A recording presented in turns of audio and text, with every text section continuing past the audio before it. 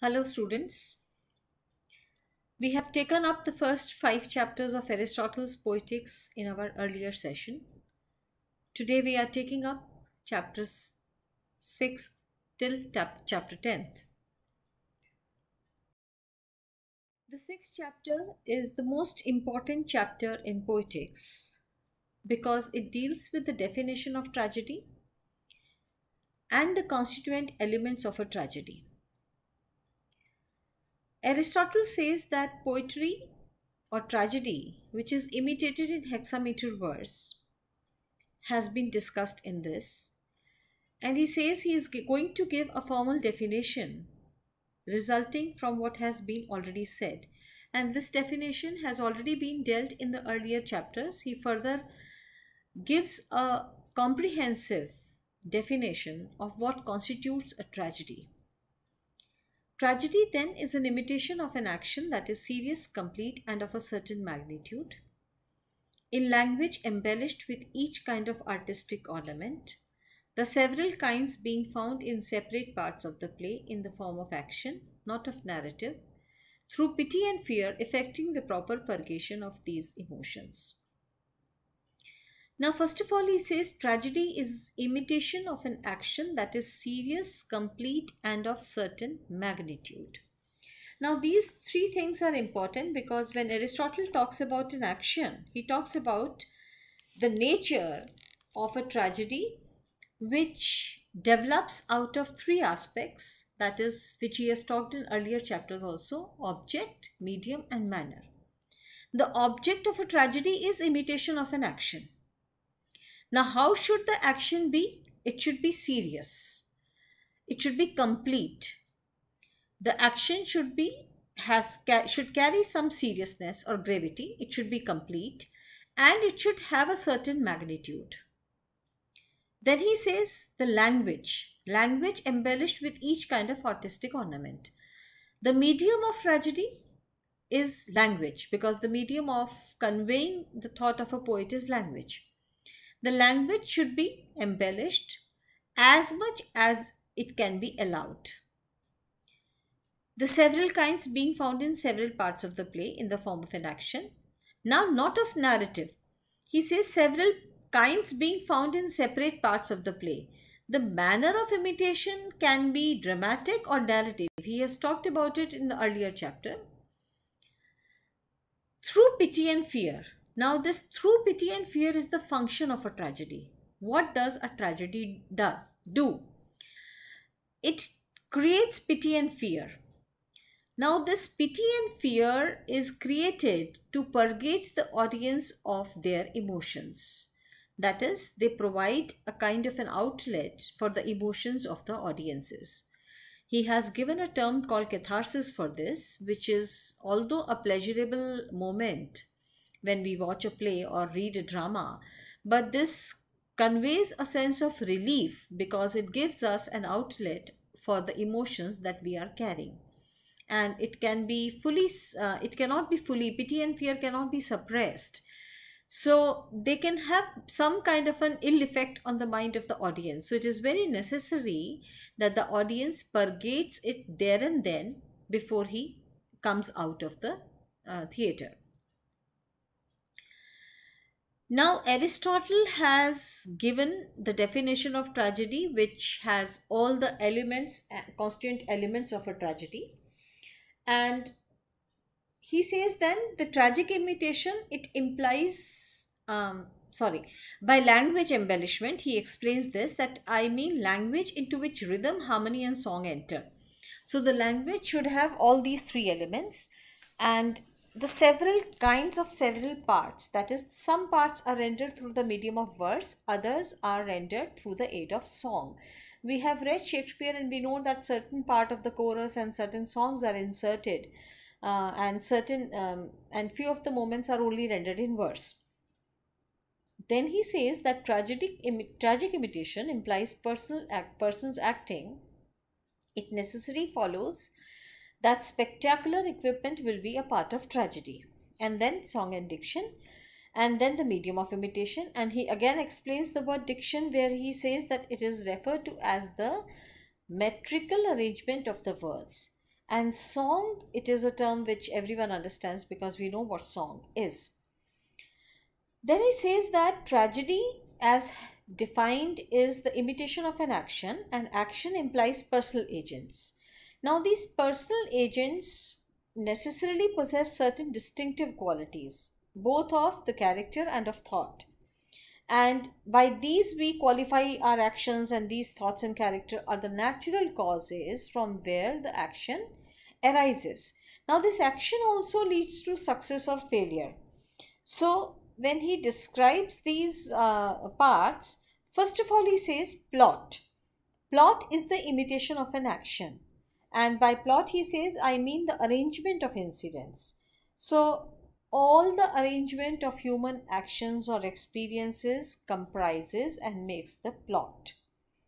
Then he says character. The second one is character. Character, I mean that virtue in which we describe certain qualities to the agents. Now, character of these agents or dramatic uh, characters or dramatic personae is something which is important for a tragedy. Then he says a thought is required wherever a statement is proved. Then the third is the thought. Thoughts which are expressed by the characters during the course of action. And uh, or it may be a general truth which has been enunciated, whatever. Then he says every tragedy must have six parts which parts determine its quality plot, character, diction, thought, spectacle, and song. Now we have to understand that two of these parts constitute the medium of imitation and one of one of the manner and three the objects of imitation and this is how the list is completed. Out of these six elements, Aristotle says that um, the two elements that are to do with medium of imitation are say diction and melody and the sixth element is spectacle. So out of these the plot is considered to be the most important and it is said to be the soul, life and soul of tragedy. Because he says most important of all is the structure of incidents because tragedy is an imitation not of men but of an action and of life. And life consists in action and its end is a mode of action not a quality. Now character determines men's quality but it is by their actions that they are happy or the reverse. Dramatic action therefore is not with a view to the representation of character. Character comes as a subsidiary to the actions Hence, the incidents and plot are the end of tragedy, and the end is the chief thing of all. Now, he says character can be drawn with certain psychological skills, and uh, great poetic and rhetorical brilliance of the writer helps us in bringing and building about a character. But they cannot in itself make a tragedy. Tragedy, in fact, is the story of the or the essence of a tragedy and we cannot have a picture without a shape or design. Similarly, we cannot have a character without the plot. The incident, uh, like he says, the insist continuous insistence on the significance of plot has been explained by Aristotle uh, in its fullest sense in the context of drama. And the artistic equivalent, he says, of action is real life because the characters on the stage they imitate real life and it has to be remembered, he further says, that action is not purely an external act. It is something which is known as an inward process, which is working outward, or the expression of a man's rational personality.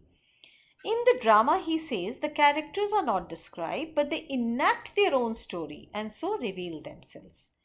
Now he says that we know them not from what we are told of them because we don't know what, what the characters mean to say. But by their performance, we get to know and peep inside their hearts. And without this action, he says, the poem or the poetry would not be complete and would not become a drama in itself. Now, further, he is placing uh, the action and character against one another because drama, he says, without character is not possible. Now, this further has to be understood very clearly because this is not the actual sense or the literal sense that he was conveying.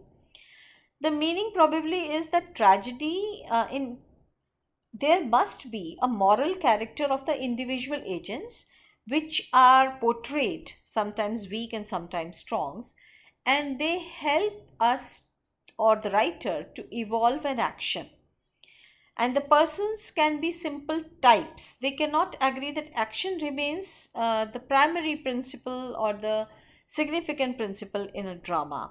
And number of terms have been used by aristotle um, in this chapter because he says and the most prominent is he says um, without action there cannot be a tragedy there may be without character.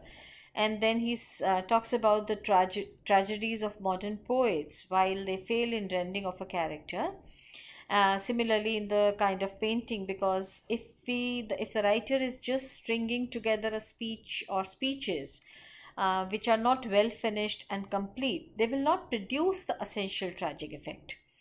Because the uh, ultimate aim or objective of the uh, the writer is to produce a tragic effect. It will not be produced. And besides this he says the most powerful elements uh, instead is the reversal of the situation and the recognition. Now these are the important terms which we he has given and we, will also discuss these terms as terms later on when we finish up this uh, text.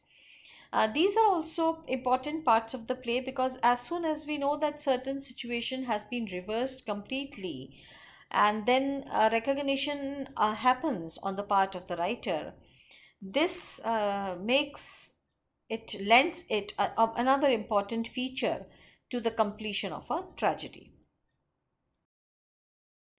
Uh, so he says the plot is the first principle it's the soul of tragedy character is the second place uh, because and third is the thought. Thought is the faculty of saying.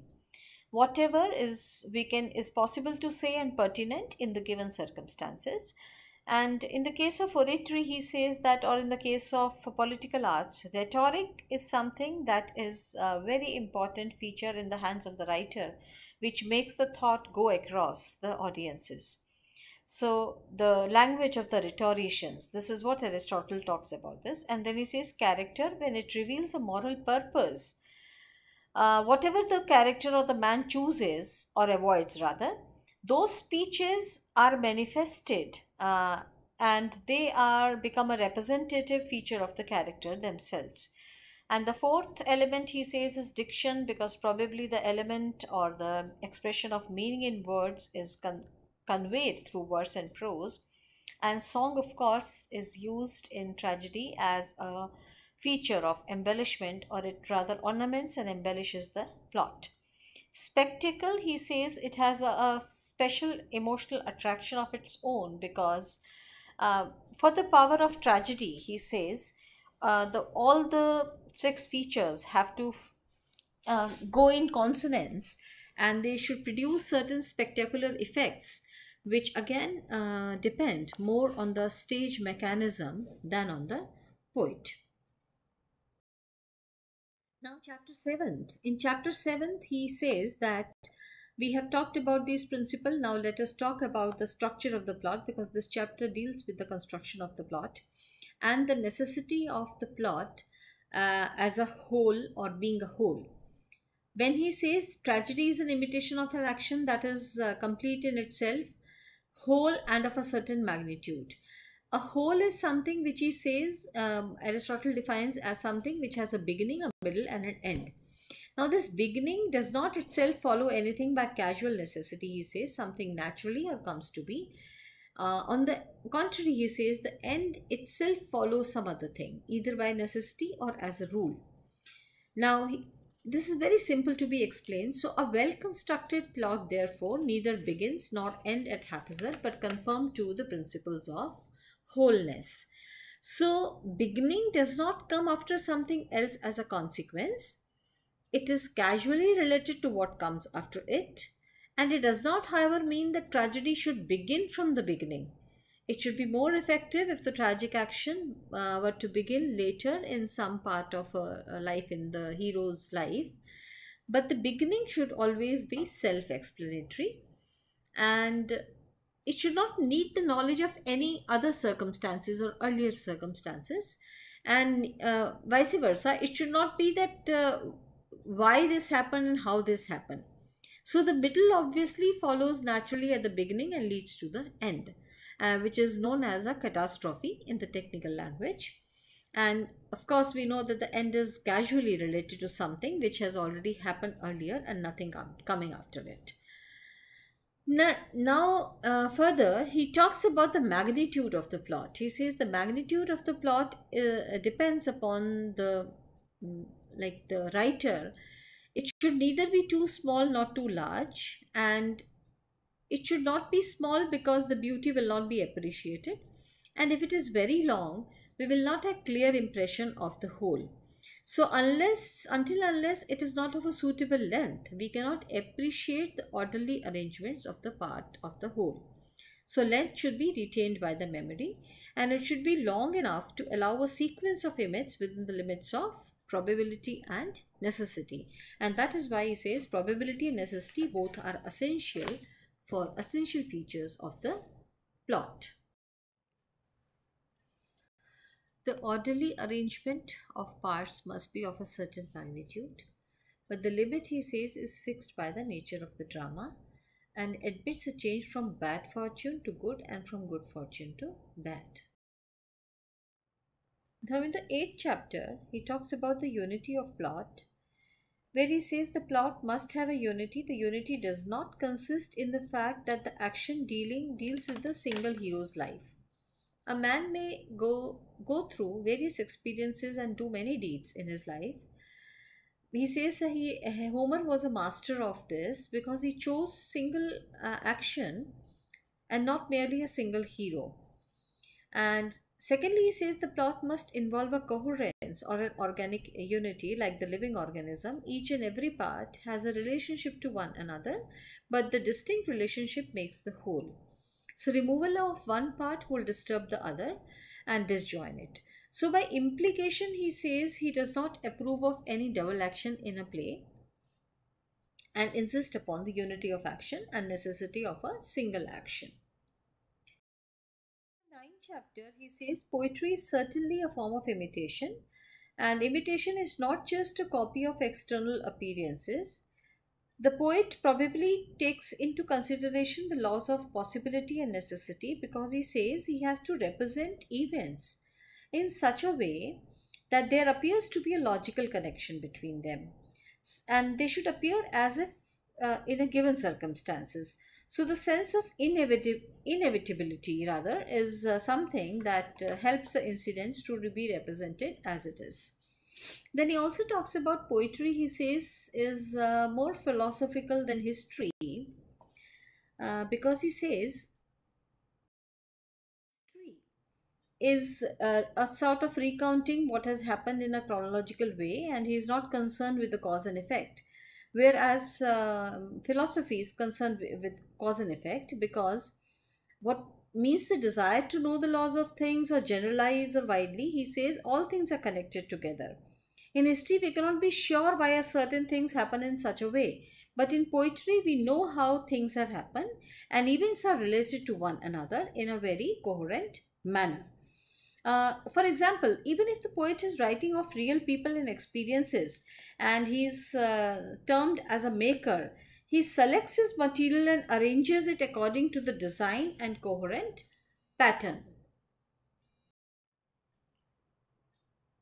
When the maker or the poet Aristotle says is talking of his own experiences, it is the inevitability of the sequence of incidents, he says, which arouses the emotions which are peculiar and proper to a tragedy. And so the law of possibility and necessity, he makes it and calls it permanent and the universal facts of life because Poetry transcends the world of appearance, where all, uh, so if something is chaotic, he says it is necessary for the writers to use uh, traditional stories and names uh, and for the reasons of um, acceptability. Then he says that the arousal of emotions of pity and fear, he says, are aroused in the incidents which occur very unexpectedly and at the same time in the consequence of one another. This chapter, 10th chapter, has been uh, deals with two kinds of plot, the simple and complex. He says plots are either simple or complex because plots are an imitation and show a similar distinction. There is a simple plot, he says, firstly, an action which is uh, which in which events only move forward and continuously only towards the catastrophe. Because there is no change of direction and no reversal no discovery. So the hero's fortune or the character's fortunes they pass from misfortune to happiness and from happiness to misery and in a very direct manner. That is why they are called as simple plots. Then the complex plots he says it, they involve a change of direction in which the hero for hero's fortune it rises from, at a certain point and then there is a turning point which is called the climax and some sort of discovery that leads to the change in this fortune so complex plots in fact involve peripety or discovery or sometimes both and this peripety and discovery he, he says it uh, arises uh, from the structure of the plots itself because uh, the consequence, necessity, and probability are important to give this rise to the structure of the plot. And therefore, he says he prefers complex plots because there are a lot of uh, discoveries, recognition, peripeties, and discoveries. So, this makes it more interesting to uh, read and watch.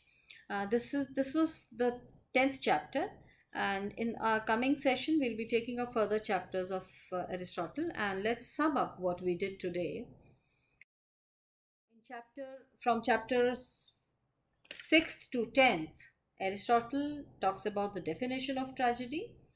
Then he discusses the six constituent elements of a tragedy uh, the nature and function of tragedy and then the construction of plot he says which is in which the action should be whole and the unity of plot it should be uh, look like probable the poetic truth the law of possibility and necessity in a plot then he compares poetry and history and in the last chapter he talks about the kinds of plot which are of two types simple and complex.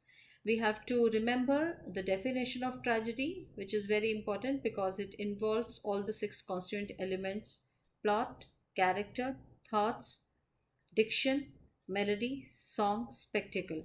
So we have to understand the difference between these and all the functions of a tragedy, how it happens, the reversal, recognition, catharsis, climax, peripety, discovery, etc.